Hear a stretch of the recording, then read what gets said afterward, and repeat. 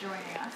Um, as I mentioned earlier, Elizabeth Wrigley Field is one of our alums, and she's now a professor at sociology um, in the affiliated population uh, Center at University of Minnesota, where she actually teaches their demographic methods courses. So all your toil in 756 could come back to help you someday, right? Yeah. Um, Elizabeth is really uh, an exemplary uh, person to bring in for a whole number of reasons. But one of the things is that she built um, part of her research agenda here as a student, largely without the help of everyone else, right? I mean, this is something she sort of pursued, a question that she found interesting, and thought about how to build an analysis to answer these questions that she thought were interesting in a way that it wasn't sort of a standard tool that we trained you in. Is that fair? I, yeah, that's fair. Okay.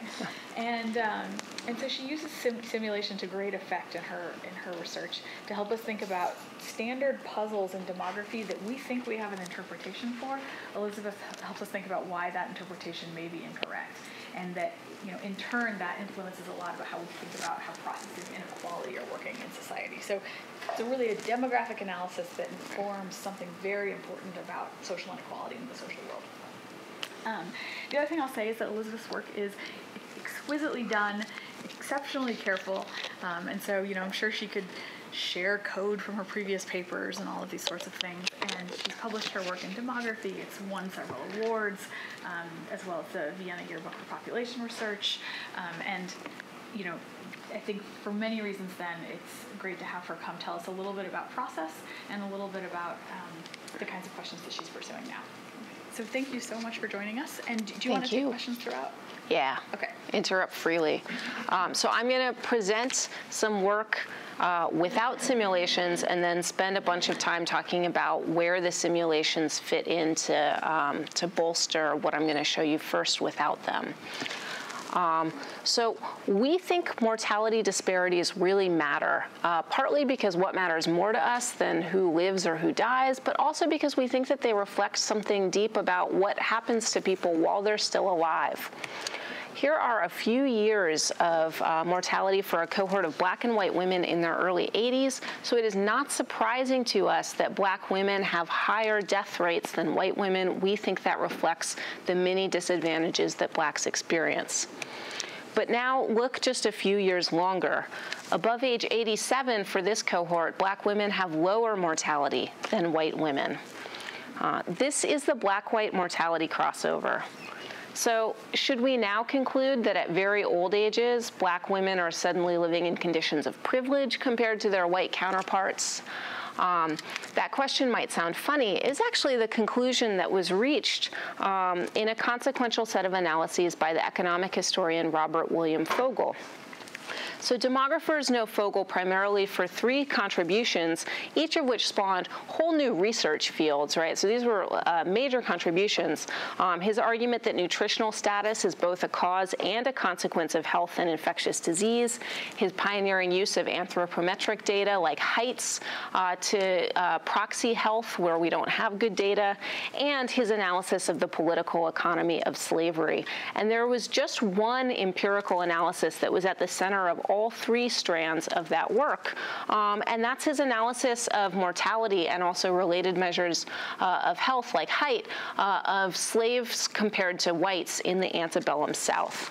And the analysis was based on data like this. So in this table, uh, Fogel is showing us the excess mortality for black slaves compared to free whites in the antebellum South. Uh, we probably all think that slavery is unhealthy for the slaves, and indeed, Fogel is finding um, that in infancy and early childhood, slaves were far more likely to die than whites. Uh, really big disparity. But now just look a little bit farther. The disparity seems to disappear, and by age 20, it's reversed. So do we conclude that for adults, being enslaved is irrelevant to your health? Um, well, Fogel reached a conclusion something along those lines. So his argument was that the nutritional deprivation of slavery really, really matters in early childhood, but just isn't that consequential for adults. Um, and he, uh, this, because it was puzzling to him, this became the center of many, many new analyses that he did to try to um, bolster this conclusion. Um, he really puzzled over this. And with all due respect to those analyses, I don't know about you, I find that conclusion implausible. But luckily, we do not need to follow Fogel to that conclusion. Um, there is an alternative that comes out of demographic theory that hopefully some of you have encountered already, um, and that is that alternative is mortality selection. The premise of mortality selection is the idea that all social groups contain heterogeneities, uh, inequalities in the risk of dying. So in this very stylized language, we say some people are frail and other people are robust, and as a cohort ages, its frail members die first.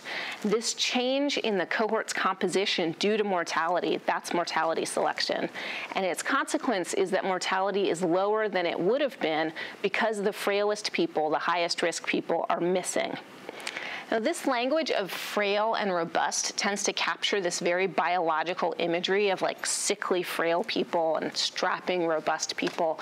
Um, but the way that I actually want you to understand this is that frailty is the assemblage of all of the things that might make someone more likely to die than another that are also pretty stable over their life course. So when I say frailty, what I want you to actually hear is embodied disadvantages. It's the assemblage of things like do you smoke? Did you go to college? Do you experience discrimination on a daily basis? Do you have a criminal record? Were you born low birth weight? Are you exposed to toxic chemicals in your neighborhood? You know, whatever you want, um, but things that are pretty stable about you. Now, here's the key. Uh, all social groups contain these invisible inequalities. Um, so there's frail and robust blacks and there's frail and robust whites, but not all groups are equally selected by mortality social groups that have higher mortality, like blacks compared to whites, are selected more intensely because their mortality is higher. So the intuition is just if you live to be 90 years old in the condition that black people are forced to live in in the United States, you had to have something very special about you in order to live so long in a way that is simply not required of white people to live so long. And that means that when we look at old ages and we compare blacks and whites, uh, and we think we're learning something something about their current circumstances, uh, we're actually comparing this very selected group of whites, of blacks rather, to a much broader cross section of whites. It is an inherently biased uh, comparison. Um, right, so from this perspective, whites whites' high mortality in old ages is a sign not of an old age disadvantage, but of the accumulated advantages of a lifetime, right? So this is the theory um, and this is all background. What I want to do is ask a question about what happens when this theory meets modern demographic data um, in which we have rich covariate measures um, that can capture parts of what we mean uh, when we talk about something like frailty, but don't capture the whole thing. Uh, and I'm going to give you, normally when I talk about this project, I actually spend a lot of time sort of motivating and setting up the question, uh, but I don't want to do that because I want to spend a lot of time instead talking about the simulations because that's why we're all here. Um, so instead of really motivating the question, I just want to make sure that at least the question is understood. Um, so the question that I will be asking is, um, if we could measure some important part of the heterogeneity, so if this frailty, you know, that is this assemblage of stable traits that makes some people more likely to die than others in ways that are pretty stable, if we can measure some pieces of that, but we can't measure others, what happens to the crossover when we stratify on the parts that we measure? And in particular, I want to ask, do we have a testable prediction of this theory, uh, this mortality selection theory, um, that if we could stratify on part of the heterogeneity, that that should push the crossover to an older age? Uh, because we would be partially equalizing the black and white populations. Uh, and I want to argue that this um, way of proceeding, stratifying on part of the heterogeneity, um, matches what we often are starting to do with empirical data, where we have um, measurements of some real inequalities with, that stratify black and white populations, um, but also is not well founded um, in demographic theory. And the reason that it is not um, is that uh, this is uh, a, a, a multidimensional process, right? It's treating frailty as, um, a, as a multidimensional construct, um, but it's drawing on an underlying theory um, ab about a unidimensional frailty, where frailty is treated as just one kind of thing. So what I'm going to do is build a multidimensional frailty model and ask what happens to the crossover when you stratify on just one of those dimensions.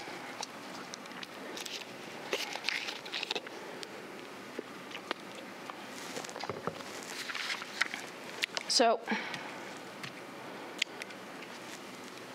and just to give you the upshot in advance, I'm going to argue that when you split frailty into pieces that are incompletely measured, neither the measured nor the unmeasured part ends up looking like the unidimensional frailty that you are used to if you think about, if you, if you read uh, demographic um, theory. So let me start with just this canonical unidimensional model um, that if you read in this area, you'll encounter uh, very quickly. Um, this is the canonical model of mortality selection with a single dimension of heterogeneity stratifying black and white subpopulations. So we're imagining that we have individuals that age with Gompertz mortality, so their mortality is increasing exponentially as they age. Race and frailty are fixed and binary. And conditional on frailty, blacks always have higher mortality than whites. So there's a racial disadvantage that is constant over age. It never goes away, and it's experienced by everybody. Because this is a unidimensional model and it's very stylized, everyone's mortality is perfectly described by their race, their frailty, and their age. So these subpopulations are homogeneous. And the picture on the white is showing um, what the logged mortality looks like. Sorry that it's a little bit um, uh, not the easiest to, uh, to, to read on the screen, um, but the um, whites are in blue and blacks are in tan, and the frail are the dashed lines. So you can see that the blacks have higher mortality, but the frail robust difference is actually a lot bigger. And, and, that's a, and that's a precondition for the crossover. So at the aggregate level, the racial difference in mortality is a trade-off between the fact that conditional on frailty, blacks are always disadvantaged, but as the cohort gets older, blacks are less and less likely to be frail. Uh, and so the picture on the right is the proportion frail for blacks and for whites. And you can see that uh, for most of the age span, whites are uh, more likely to be frail than blacks are. Um, uh, in fact, that's true at all ages, but it becomes inconsequential as the numbers get closer and closer to zero. Okay, and this trade-off can produce a crossover. So here is the aggregate disparity in mortality formally. Within each frail group, uh, blacks have higher mortality. So these terms on the left are the extent to which black mortality is higher than white mortality uh, for the frail and the robust, weighted by the proportion of the population uh, that's frail and robust uh, among blacks. Um, and then, um, but mortality selection is making a more robust group of white survivors than black survivors. And so these terms on the right are the white-black difference in the percent frail, weighted by how much that matters uh, to mortality. Um, and the key is that all of these terms have known sign, and that's what lets us reason qualitatively about the role that frailty is playing or that mortality selection is playing in aggregate mortality. Um, that's going to be important. So this model is where all of our intuitions about the crossover come from. And now, I want to use that as a jumping off point for a new model, um, which makes it more complicated in just one small step. So now we have two fixed forms of heterogeneity. Blacks and whites can be exposed to tobacco in utero or not, and they can also be residually frail or robust. And this is just like the unidimensional model. All I did is split that frailty multiplier into these two parts, a part that's about tobacco exposure and a part that's the residual of that. Uh, and, and, and people can be frail on one or the other or both or neither of these mortality selection against tobacco exposure and against this residual frailty, they might both contribute to this crossover that we observe. Right, and so this is an intentionally very, very simple multidimensional model um, because the, the idea is to think about what is the scope for testable predictions here, not in a complicated setting, but in the simplest possible multidimensional setting. Now here's the question.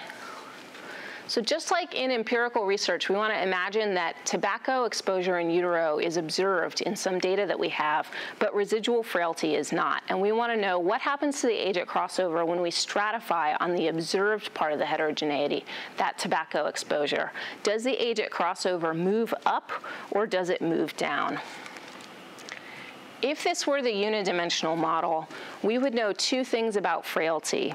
The frail have higher mortality than the robust, uh, and more surviving whites than blacks are frail, right? That's what makes the crossover. And if we could extend those two facts to the two dimensions of this multidimensional frailty. So if we could say that's those same two things are going to be true about tobacco exposure and they're going to be true about residual frailty, um, then we would say, okay, well, the tobacco exposed have higher mortality than the non-exposed. And whites are going to have more tobacco exposed survivors than blacks because the black tobacco exposed are going to be selected out of the population. And so we would reason that conditioning on tobacco exposure is going to lower white mortality more than black mortality. And that should give us a pushed out, a delayed crossover. Does that reasoning all make sense? Does that seem intuitive? If, if we could make these same generalizations, whites, uh, tobacco exposed have higher mortality, white survivors are more likely to be exposed to tobacco, then conditioning on tobacco should uh, reduce white mortality more than black mortality? The problem is that neither of these two generalizations needs to be true. So first of all, do the tobacco exposed always have higher mortality than the non-exposed? No, because these are groups that are aggregated over this residual frailty, so they can have a crossover just like whites and blacks do. Um, so we can call that a frailty crossover. And this is just a very, um, this is actually um, not much of an extension uh, of what we already knew at all. It's just looking at it in a slightly different context. Here's a more interesting one. Uh, are white survivors necessarily more likely than black survivors to be exposed to tobacco? And are they more likely to be residually frail? And again, the answer is not necessarily. And this point is more subtle, but also more interesting. Um, and the formulas are pretty complex, so I'll just give you the intuition. But the idea is um, just like unidimensional mortality selection creates this negative association between race and frailty, between being black and being frail. So that association wasn't there at birth, it gets created through the selection process. Um, in just the same way, multidimensional mortality selection creates this negative association within each race between tobacco exposure and residual frailty. So our two dimensions of frailty become negatively associated with one another. And that negative association can become so strong that selecting against one disadvantage is actually selecting for the other disadvantage. And that can lead to all kinds of things um, that feel surprising if you're used to thinking about mortality selection um, in, in, a, in a more simple or unidimensional context. It can lead a dimension of disadvantage not just to decrease over age, but to increase over age through mortality selection, which I call a frailty increase, or it can lead along one dimension, um, blacks to be less heavily selected than whites are, which I call a frailty reversal. So here you can see um, this is the proportion residually frail for blacks and whites in a simulated cohort, and I'm going to say more about the simulations in just a moment, but this is just for illustration. You can see that residual frailty increases here for both races, and that there's this reversal where the gold line for blacks uh, is higher. So what's happening here is that the selection against tobacco exposure in this case uh, is leading um, both races, but particularly blacks, to become more and more frail in this other residual sense. Uh, and when this happens, it is always to the dimension with a weaker effect on mortality because it's being driven by um, stronger selection against the other dimension. Um, so blacks are always going to be more selected than whites against the strongest dimension of heterogeneity, but not necessarily uh, for both. So I just want to underscore what a departure this is uh, from the unidimensional selection model of the crossover, um, because they're the one thing that we really, really know is that surviving blacks are less frail than surviving whites. That's the entire point of the model. Um, but that point does not generalize to the individual dimensions of disadvantage um, in a multidimensional model. So now the question is, what does this mean for the crossover order? Here's the racial difference in aggregate mortality and in form. This is exactly the same as the uh, racial difference that I showed you before. Um, so we have a racial difference in mortality among the tobacco exposed, weighted by the proportion of blacks that are exposed, and among the non-exposed, weighted by the proportion that are not exposed.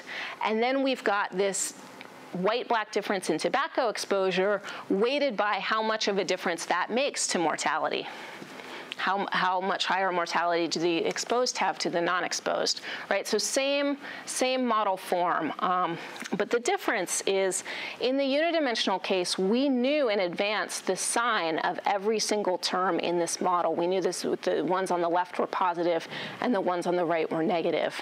Now, we don't know the sign of a single one of these terms. So the racial differences in the subpopulations can take either sign because the subpopulations could have their own black-white crossover or not. Um, that's not a problem. Um, and the aggregate can diverge from the subpopulations because of this compositional term on the right. Um, so, so far, so good. What we want to know is, um, does this compositional term on the right lead the aggregate to diverge from the subpopulations in a predictable way um, or not? Because that would tell us, is it creating an early crossover in the aggregate or a late crossover in the aggregate? And that's that testable prediction that we have been looking for. But that compositional term can also take either sign because either, either one of its terms are. So either the tobacco exposed or the non-exposed could turn out to be the high mortality group in the ages that we're looking at, uh, and that's because they could have a, a crossover um, or not. Um, and whichever one it is that has higher mortality survivors, either blacks or whites could end up having more of them in the age span that we're looking at because of this um, potential for a frailty reversal, because of the selection along multiple dimensions to produce um, the opposite direction of selection that we expect along any one dimension. And that's why the crossover order is unpredictable. Um, so it could be the case that being exposed to tobacco means you have higher mortality, and whites are more likely to be exposed than blacks when you look only at survivors. And so stratifying on tobacco exposure reduces white mortality more than blacks um, and, and, uh, and, and creates um, a later crossover like we expected. But it also could be the exact opposite of that. Um, so it could be um, that the tobacco exposed have become the lower mortality case or that whites have fewer of them and that actually the stratification is going to do the opposite of what we would have expected. Okay. So this is all the non-simulation, this is the kind of point of the argument that I want to make. So why do I need simulations? Um, in order to make this argument um, more compelling.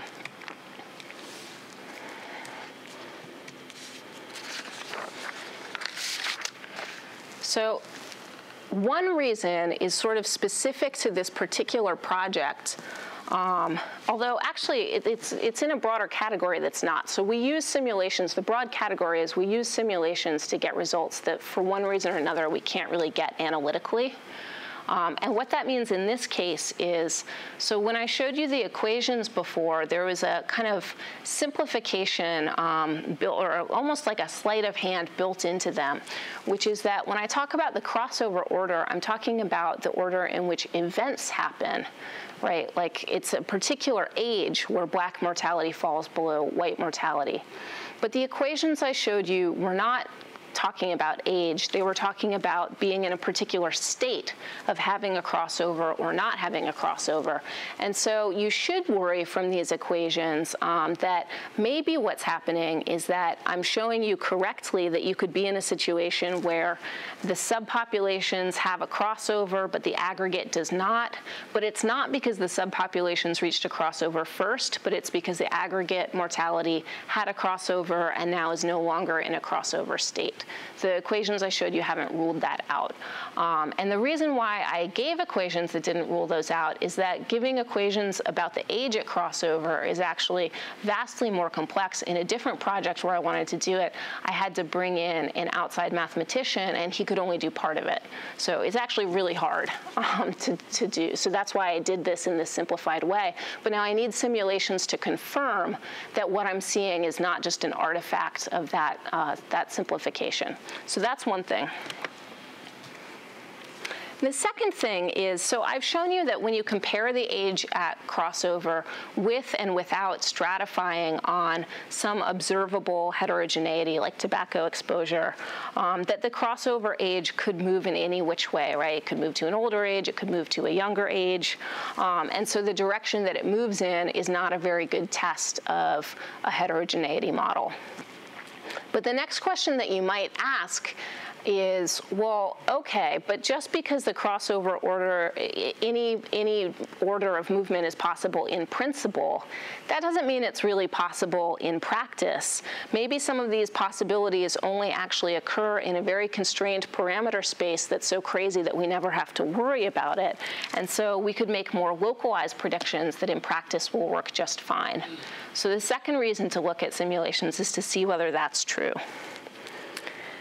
And the third reason, which is related to that, is to try to empirically validate the model. And I am going to say that I have very mixed feelings about this one. Um, and for a long time, I was actually very dismissive about it in this context.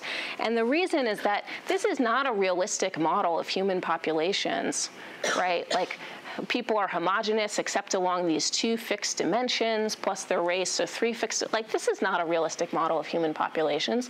And the way that I think about the value of this work is that it's doing something, uh, and by the way, they're all binary, like it, I think of this as doing something theoretically prior to doing the kind of model you would want to empirically calibrate, which is basically just to see like what theoretical possibilities are out there that we should be worried about and then have to figure out how much are they actually going to come up uh, in real situations that we care about.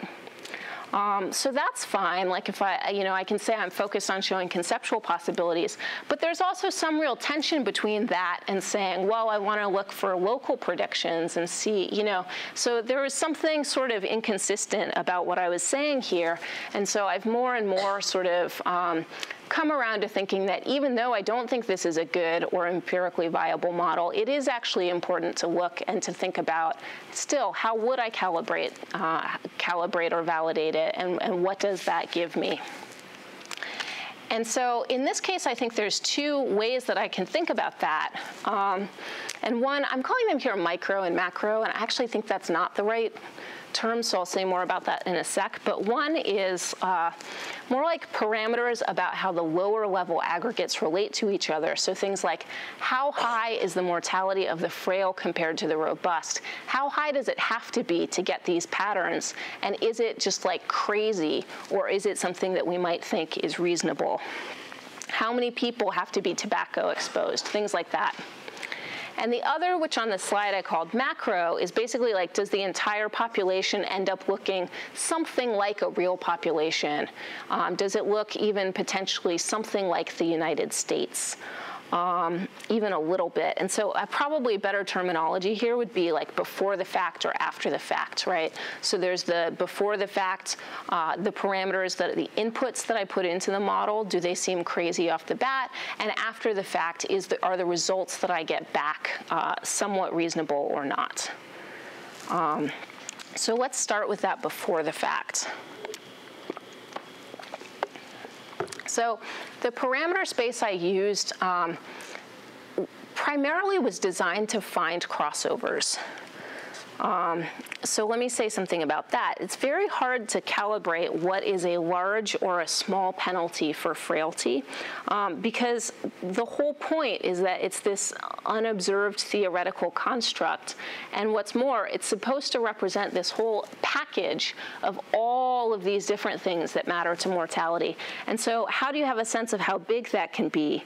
Um, I don't really know. So, right, so it's like by, by modeling this as a single dimension, it's like we're imagining that all these differences between people kind of cluster together into this single omni disadvantage. And uh, similarly, I've been talking about tobacco exposure, but that term also you could think of as a whole amalgam of all the traits that actually would be observed in a data set, which could be any number of things, and then clustering that into a single dimension of advantage or disadvantage as well, right? So the point is just we have an observed and an unobserved dimension to heterogeneity. So we have these mortality penalties, but it's very hard to think about how big they should be. Um, but now having said that, you know, we don't have a good sense of what's a big mortality penalty, uh, it, having said that, it actually takes a big mortality penalty um, to get a crossover in the first place. And so the classic mortality selection paper, um, Heterogeneity's Ruses, actually uses this pretty extreme black frailty interaction to get this nice crossover picture. Um, the penalty for being frail is four times higher for blacks than for whites in this model. Um, and that's where this sort of canonical picture comes from. And in contrast, the models that I'm using don't have any interactions. So being frail and being black are the same disadvantage, whether you're black or you're white. Um, so as a result, um, I need frailty multipliers that are pretty much at the extreme of what you find for standard demographic variables. So the example cohorts that I showed you earlier have frailty multipliers around four, which is slightly more than the sex difference for old people in post-transition Russian mortality. So as far as like a single demographic variable goes, like that's a really big one. But I've been trying to think about how do you know what's reasonable, not just for a single variable, but for an amalgam. So one thing I looked at was this classic paper that proposed um, what's now called the Charlson Index or the Charlson Comorbidity Score, uh, which is basically a score of how bad is your chronic disease burden. Um, so the idea being that like people could have all all manner of different things wrong with them, but regardless of what it is, you could just kind of count them up and get a pretty good predictor of how sick people are. Um, and so in that paper, they found that um, each additional chronic burden gives you a mortality relative risk of a little less than one and a half, which is similar to a decade of age. And then because chronic disease burdens and age decades had about the same effects, they actually put them together into a combined score that worked pretty well at predicting mortality. Um, and so, you know, basically like for every additional disease you have like diabetes or heart disease or something like that, arthritis, relatively serious ones, you get a. And you also get a point for being a decade or older. And so four points increases your mortality by about four, factor of four and a half, five points, uh, six and a third, six points, nine and a quarter right? So these are both big disadvantages and big mortality penalties. So that maybe gives some idea to calibrate what I'm about to tell you. Um, so in my simulations, um, in order to in order first of all to find crossovers in the cohorts, I make the mortality multipliers on being tobacco exposed and residually frail really large. So they range from two all the way up to eight. Um, and the multiplier on being black is much smaller. At maximum, it's two. Um, and these um, these mortality multipliers on being black actually are like the 1.05 is way too small, but they're basically consistent with um, uh, life tables, uh, US life tables at young ages. So I also looked at a range of baseline proportions, frail or tobacco exposed, and this I really have no theory about. I just started them at pretty high values because uh, otherwise they go extinct too quickly in the models because their mortality is so high. And so this list of parameters gives me everything that I need in order to answer questions about when crossovers happen in relation to each other, whether there's a frailty reversal or a frailty increase, and so on. And when I say this list of parameters, I really just mean these mortality multipliers and these baseline proportions, this uh, baseline distribution of who's in what group. I don't mean uh, the alpha and the beta that scale the underlying mortality risk.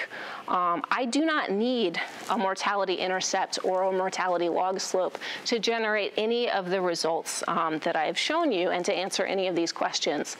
And the reason I don't is that I can treat the survivorship of any of the groups as the clock um, in which uh, all of these relationships are measured. Um, so uh, survivorship and age are monotonic, though not linear transformations of each other, right? Like survivorship on a closed cohort is always decreasing at every age. It never increases. Um, and so the way that I simulate these, partly for computational reasons, um, is I use as the clock the survivorship of the lowest mortality group which is the robust, non-exposed whites, and then everything that's happening in mortality is just measured relative to that survivorship. Um, and by saving me two whole parameters in the parameter space, it actually makes a really big difference to how fast this runs. It's still, the simulations take about a week. Um, without those two parameters, it would be much, much, much longer with them. Um, so that's how I originally approached this. But if I want to do not just this kind of before the fact, how are my inputs okay, but do an after the fact, what kind of populations do I end up with, then it's not enough to look at the survivorships. I need to actually put, put these back into an age scale in order to be able to relate them to real populations. Um, and so in order to make them try to look reasonable, the, the way I'm thinking about that is in terms of if you took these um, aggregated populations that you end up with and did like, like ran a Gompertz model on them, would you get reasonable parameters? So because these lower level parameters, like the frailty multipliers, these are all latent, right? We have no idea how to validate those. But we do know how to think about what aggregate populations look like. So in this graph, um, these are from the human mortality database all period life tables starting in 1933, because that's the first year of US data in the human mortality database. Um, so the yellow ones are all of the human mortality database cohorts. The pink are the United States. Um, and we have here, if you just run a Gompertz on each of these cohorts, a fitted intercept along the x-axis and a fitted slope along the y-axis. And so the question is, if I go in and apply an alpha and a beta um, to these uh, population models, can I, can I, is there an alpha and beta that I can find such that you get an aggregate that is somewhere in the range um, of these data? So it looks something like a real population.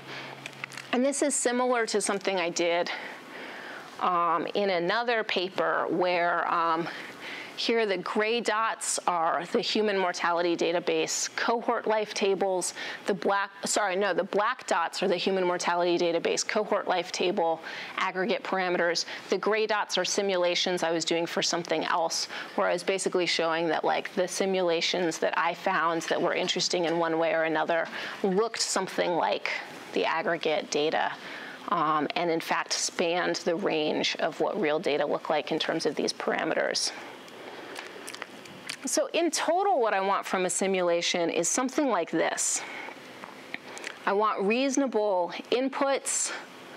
Um, I want reasonable aggregate populations, meaning I want them to give me these um, population parameters, an intercept and slope that feel uh, not totally implausible, and that, that simultaneously put the crossover at a realistic age, so starting somewhere between 70 and 90.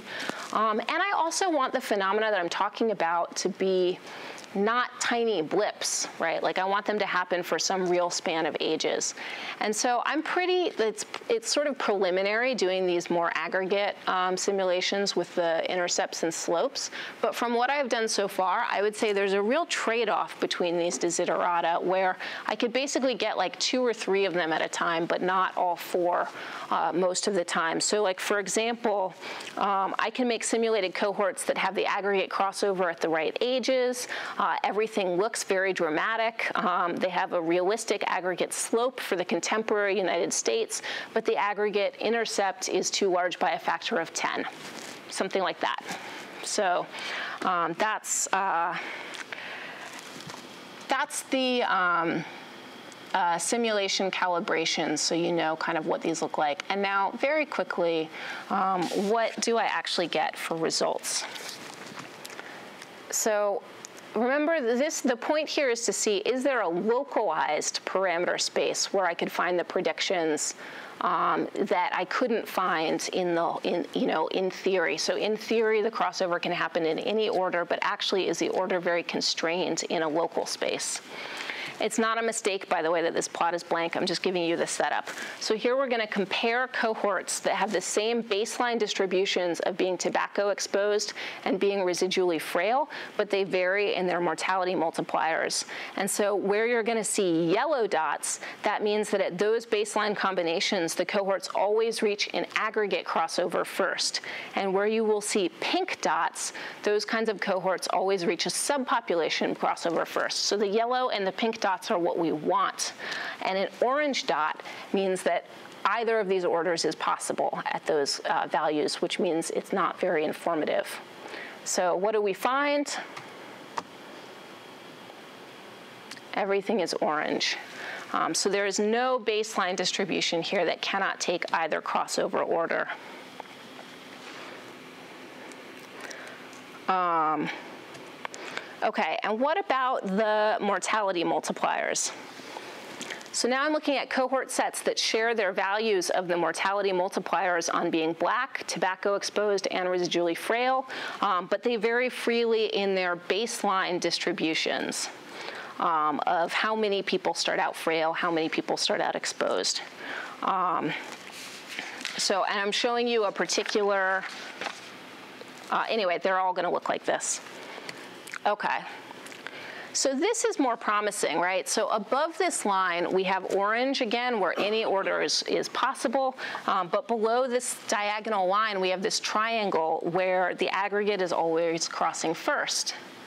Um, but this bottom row isn't that surprising. So at these values, um, being black and being residually frail actually have the same mortality penalty. So there's no crossover at all within those subpopulations. You need a tobacco exposure difference to get a crossover. So that's why the aggregate is always crossing first there. It's actually crossing only. Um, and what about up here? So this triangle is more interesting. At these values, you never have the, the aggregate crossing last, um, but it doesn't have to cross before both subpopulations. A lot of the time, it actually crosses um, in between them. Um, in between the tobacco exposed and the non-exposed. So, you know, maybe there's some room for localized prediction here, um, but it's pretty specific um, and circumscribed. So where does this leave us? Uh, we looked at the multidimensional mortality selection model because we want to be able to use observed measures of heterogeneity to make predictions about, uh, about selection models and then test those predictions.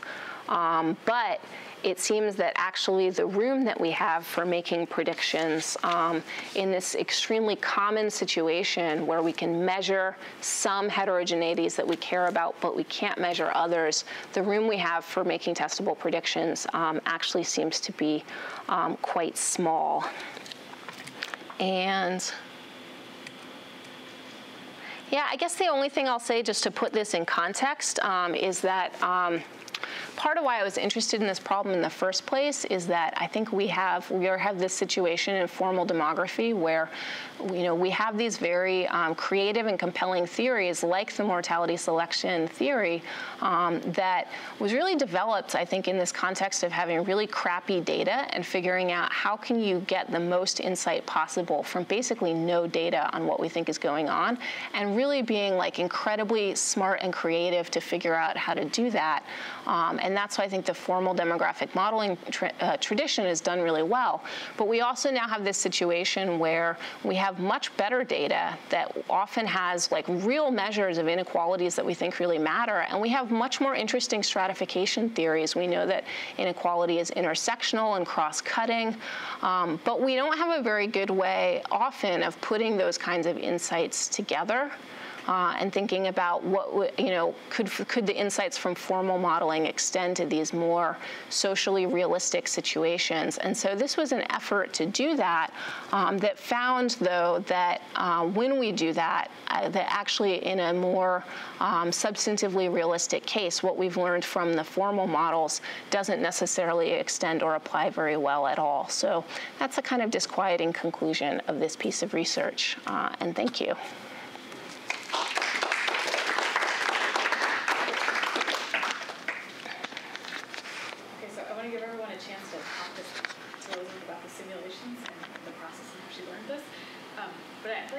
underscore this last piece of I mean, what she's done here is a pretty big deal, and I think has received a fair amount of.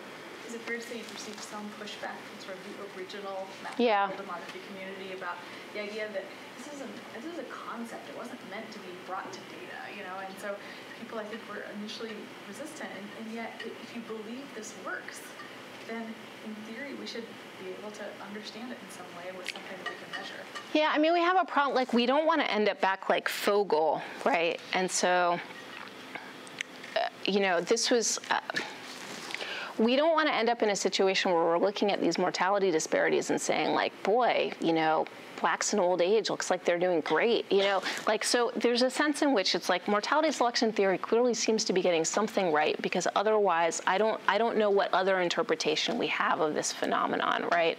So we I do think there's something that's really right in this theory, but yeah, we should we want to be able to ask much better questions like what is this frailty? Like what are its major components? How do they work?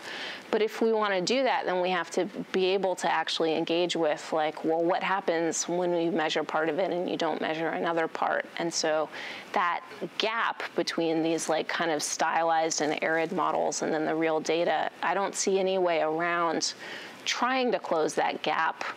Um, but it's not really clear to me how to do it. And you can see this is still a super stylized and arid model, right? And already, you know, it really breaks down.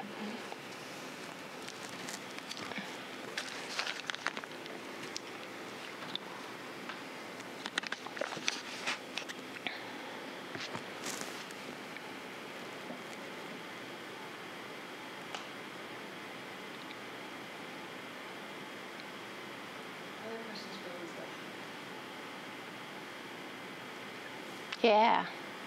Historically, Fogel didn't have access to the same data richness that we do today. And I, has anybody gone back and sort of tried to mimic the literature in the sense of the evolution of data versus the evolution of the understanding of the processes you're talking about?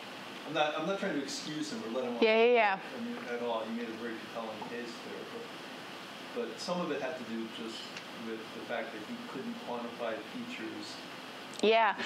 I mean, what's crazy, I think, about reading Fogel's work on this is like it's so good, like it's so creative and careful in a million different ways, but he, he, he doesn't have the concept of mortality selection.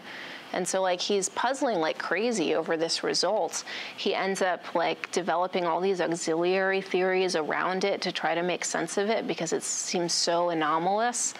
Um, so, and, and it's super creative in the way that it marshals like a million different kinds of pieces of data to try to make sense of it. But it's, it's like the one piece that was missing was just the idea that like, no, survivors are really different from an original birth cohort when you've been in a condition where mortality is so high. So, Yeah, I don't know. So he, some of his students have done more, um, you know, more research on the same topics with more modern kind of um, methods and assumptions. What I think is sort of crazy about the Fogel case is that like it's it's it's literally at the center of everything that demographers know about and care about Fogel for, and we never even talk about it as an example of the crossover. And I think there's some like uh, some kind of interesting reasons for that historiography that are sort of um, worth thinking about that um, that maybe I won't get into because I don't know how to do it concisely, but it's like, uh, it, uh, to me, that's the most interesting part of it.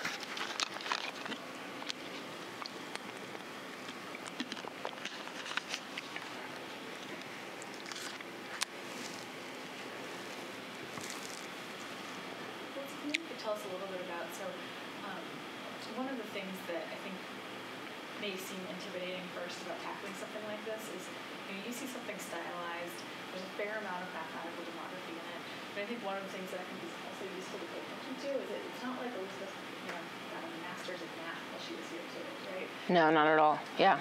So maybe you could tell us a little bit about, okay, so you see this problem, you find it phenomenally interesting you know, how did you dig your dig into it, and where did you get help? Yeah. So, okay, so one thing I should say is that the reason why this is all using binary categories is that I'm not that great at math, and that made the math tractable for me, and it let me have intuitions about all of the equations in a way that is harder for me. Um, with um, so that's one reason why these models are not super realistic. Someone who's better at math, I think, could have done it in a more realistic way and retained intuitions about it um, which I didn't think that I could. The way I got into it was um, I was originally interested in another problem, mortality deceleration, which actually the graph that I showed um, that just came from another paper. This was a, um, a from a paper I wrote about mortality deceleration, and it came from um, something that I was reading, a paper that I like a lot by Scott Lynch, um, and it made some assumptions and it didn't write down the model. And I thought, I'm just going to write down the model and like figure out how that works. And when I wrote it down and started playing around with it, I realized that like one of the assumptions that was kind of implicit in the paper wasn't true. And so I got really interested in that. Um, and that ended up being what my first um, paper as a grad student was about. Um, and so I really learned to do this kind of math like through having that applied problem and figuring out how to write down the models for the actual process that I was trying to model. I didn't come to it with already having those math skills and then recognizing them. Um, and most people who do the kind of work that I do come at it at a really different way. They mostly have an engineering background, and it gives them, I think, a, a, huge advantage in that they can see structural similarities between kinds of um, population situations that are not really accessible to me um, because I don't see them right off the bat. Um, but I think, you know, the to make the best of of you know the situation you're in or whatever i think the advantage that i do have is that because i had to work harder to get the intuitions for what i have my intuitions are closer to the substance uh, and that can be a double-edged sword um, but it can be helpful i think for sometimes being able to think about like you know, hey, like this model is actually saying something kind of crazy about how racism works. I don't think that is how it works. So if you're in a if you're in a boat like me, you know that's maybe the advantage that you'll have is like bringing more sense of realism to the models. Um, if if you come at it in a way that is closer to the substance of what they're saying. What has the response been to using this measure of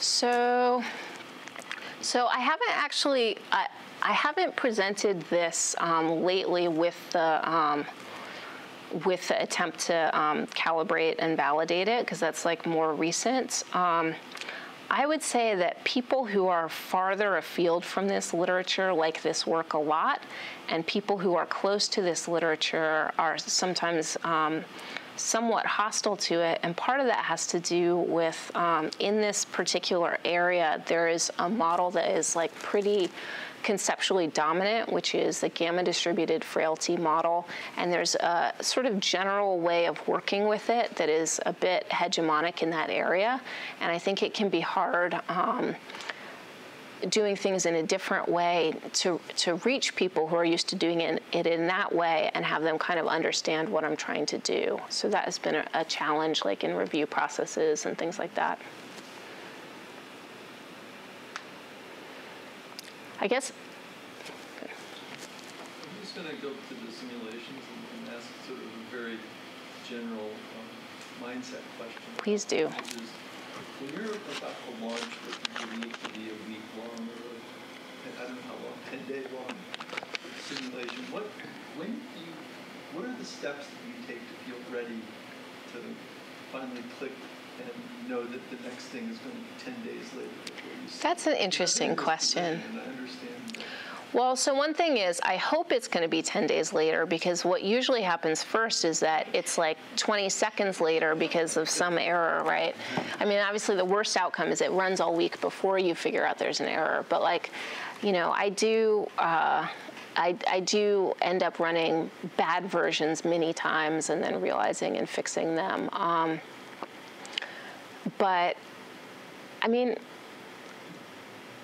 a week is a long time to run something, and I feel bad saying this with Russell in the room, but like, you know, but computing power is like pretty cheap, you know, and I feel like it, if I feel like I'm going to actually learn something from doing it, um, then I want to go ahead and do it. I- I heartily agree. Oh, good. Got servers for a reason. yeah. And I guess, is there a way that you broke your data down into smaller pieces to see, to figure it out before? you Oh, yes, this is a great question. Yeah, so this is like, I forget how many uh, simulated cohorts this is, but it's like, you know, many, many hundreds of thousands. Um, before I tried to run that, I did versions that were like 10 simulated cohorts and could run like instantaneously on my laptop um, to make sure that like the code is trying to do the right thing and that the results seem intelligible. I definitely recommend that. How many of you have come across frailty before uh, in conversations with PAA or, I mean, I know we talked about it in DevTech, so, but I mean, in, in other conversations. Is it usually, is it, have you uh, seen others try to make connections to crossover to learn more about it? I've only seen it in the context of public, like, epidemiology. Okay. That's cool. I was just curious about the, you know, the crosswalk that she's trying to do here is actually, it's, a really big deal in some sense. I don't really know anybody else trying to walk this line.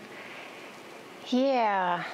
So in any event, um, and so, but thinking about the fact that you've got these underlying individual parameters that aggregate up to a population level trend, I mean, this is something that we, we can think about for a lot of processes besides mortality, right? You think about it for divorce hazard, the underlying divorce hazard, marital hazard, fertility, right? You've got some underlying process, and then it's aggregated across people and generating patterns. And you know, so so I think there's a translation between what she's doing and, and what I know a lot of you are interested in when you think about families and fertility or inequality or um, migration propensities, right? And and so the issue is that 50 years ago, 40 years ago, we just saw those population aggregates, right? And so we had to come up with some inference about some underlying process to to take apart puzzles in those population aggregates, right? And so what Elizabeth's done here is has a translation to many of the other things that you might be thinking about. So I hope that part of this is clear. If you work on a problem that has a duration in it. Or anything else where if the thing happens to you, you're no longer eligible to have it happen to you, duration of first birth, you know, whatever it is, that um, then you should worry about this kind of selection process. Okay, well, let's take about a 20 minute break. Um, so we'll come back at 10 till 3, and then we're actually just going to go